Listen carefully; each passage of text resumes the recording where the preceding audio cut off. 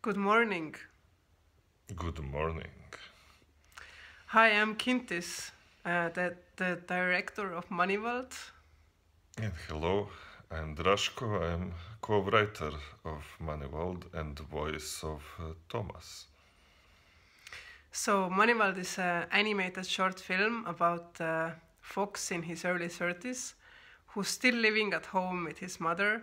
And one day, uh, young, um, uh, one day their washing machine breaks down, and the young hot wolf Screwdriver. comes to fix their washing machine, and things get out of hand. Screwdriver.